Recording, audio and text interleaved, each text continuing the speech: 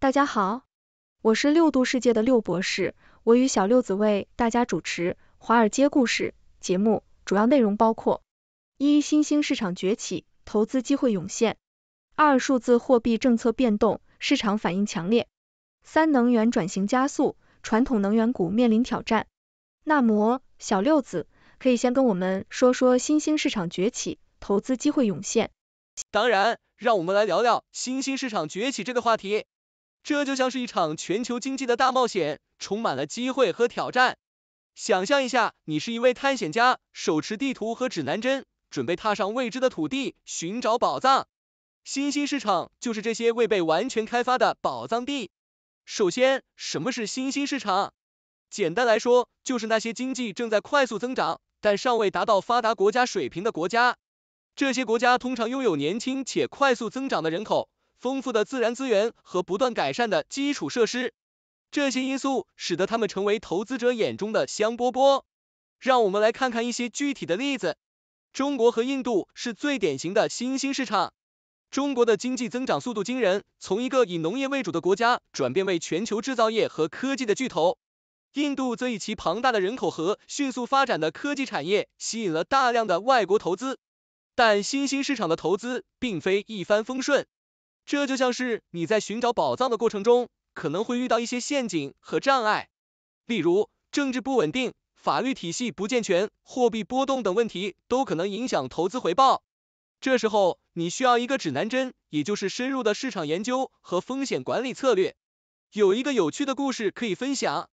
曾经有一位投资者，他对非洲市场充满兴趣，特别是奈及利亚。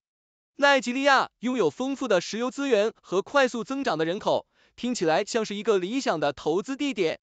这位投资者决定投资于当地的一家石油公司，结果发现公司管理层腐败，财务报表不透明，最终损失惨重。这个故事告诉我们，即使新兴市场充满机会，也需要谨慎行事，做好功课。总结来说，新兴市场就像是一片未被完全开发的宝藏地，充满了无限的可能性和挑战。作为投资者，你需要具备探险家的精神，勇于探索。但同时也要有科学家的谨慎，做好风险管理，这样你才能在这场全球经济的大冒险中找到属于你的宝藏。谢谢小六子的介绍，那再跟我们介绍一下数字货币政策变动，市场反应强烈。当我们谈到数字货币政策变动和市场反应时，这就像是在看一场高风险的马戏表演。想象一下，马戏团里的杂技演员正在高空钢索上表演，突然间钢索开始摇晃。观众们屏住呼吸，心跳加速，这正是数字货币市场在政策变动时的真实写照。首先，让我们回顾一下数字货币的起源。比特币在二零零九年诞生时，像是一个神秘的魔术师，没有人真正了解它的潜力。随着时间的推移，这位魔术师开始吸引越来越多的观众，甚至连政府和金融机构也开始注意到它的存在。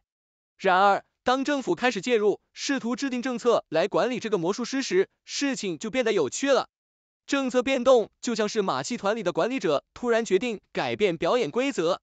比如，中国政府在二零一七年禁止 ICO 首次代币发行，这就像是突然关掉了马戏团的灯光，观众们一片惊呼，市场也随之剧烈波动。再看看二零二一年，当特斯拉的埃隆·马斯克在推特上宣布特斯拉将接受比特币支付时，比特币价格迅速飙升。这就像是马戏团里的明星演员突然出现，观众们疯狂鼓掌。然而不久之后，他又宣布特斯拉将停止接受比特币支付，理由是环保问题。这就像是明星演员突然退出表演，观众们一片哗然，市场也随之大幅下跌。政策变动对数字货币市场的影响是多方面的。首先，它影响投资者的信心。当政府出台严格的监管政策时，投资者可能会感到不安。纷纷抛售手中的数字货币，导致价格下跌。相反，当政策放宽或有利于数字货币发展时，投资者的信心增强，价格也会随之上涨。其次，政策变动还会影响数字货币的流动性和使用范围。例如，当某个国家禁止数字货币交易时，该国的数字货币市场将受到严重打击，流动性大幅下降。而当某个国家允许数字货币作为合法支付手段时，数字货币的使用范围将大大扩展，市场需求也会增加。总的来说，数字货币政策变动对市场的影响就像是马戏团里的惊险表演，充满了不确定性和惊喜。作为投资者，我们需要时刻关注政策动向，灵活应对市场变化，才能在这场惊险的表演中立于不败之地。毕竟，马戏团的表演总是充满了惊险和刺激，而我们要做的就是在这场表演中找到自己的平衡点。谢谢小六子的介绍，那再跟我们介绍一下能源转型加速，传统能源股面临挑战。当我们谈到能源转型加速，传统能源股面临挑战时，这就像是我们在看一场精彩的马拉松比赛。想象一下，传统能源股就像是那些老牌的马拉松选手，他们经验丰富，肌肉强壮，曾经在赛道上风光无限。然而，随着时间的推移，一群年轻的、充满活力的新能源选手突然出现，开始在赛道上飞奔，让老牌选手们感到压力山大。首先，让我们来看看这些老牌选手——石油、天然气和煤炭公司。他们曾经是能源市场的主宰，像是赛道上的霸主，无人能敌。然而，随着气候变化的加剧和环保意识的提升，这些老牌选手开始感受到来自各方的压力。政府政策的改变、碳排放限制的加严，以及投资者对可持续发展的需求，让他们不得不重新审视自己的战略。而这些年轻的新能源选手，太阳能、风能和电动车公司，则像是赛道上的新星。他们不仅速度快，而且还带着一股清新的风，让人耳目一新。这些公司利用技术创新和成本下降的优势，迅速占领市场份额，吸引了大量的投资和关注，就像是赛道上的黑马，一下子就成为了焦点。有趣的是，这场比赛并不是一场你死我活的竞争，而更像是一场合作与竞争并存的马拉松。传统能源公司也开始意识到。与其固守旧有的模式，不如拥抱变革，积极投资于新能源领域。例如，许多石油巨头开始投资于风能和太阳能项目，甚至涉足电动车充电基础设施建设。这就像是老牌选手们开始学习新技巧，试图在新的赛道上找到自己的位置。当然，这场比赛中也不乏一些幽默的插曲，比如有些传统能源公司在转型过程中会遇到一些意想不到的挑战和尴尬场面。就像是老牌选手在尝试新跑鞋时，结果发现鞋子不合脚，跑起来反而更慢了。但这些都是成长中的必经之路，正是这些挑战和困难，让他们变得更加坚韧和灵活。总的来说，能源转型加速，传统能源股面临挑战，这是一个充满变革和机遇的时代。就像是一场精彩的马拉松比赛，我们不仅要关注谁能最先到达终点，更要欣赏每一位选手在赛道上的努力和拼搏。无论是老牌选手还是新星，他们都在为我们的未来能源格局贡献着自己的力量。